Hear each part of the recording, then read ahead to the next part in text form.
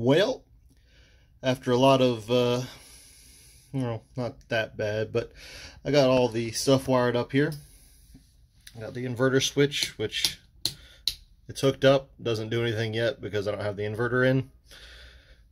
This is for the porch. This is the rock light. And then we have the overheads.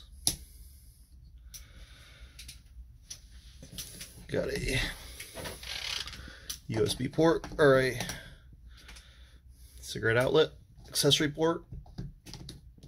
And we've got a fast charge USB.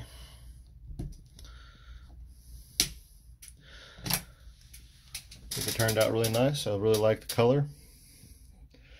It's amazing what you know scrap cedar can look like when you actually do it right.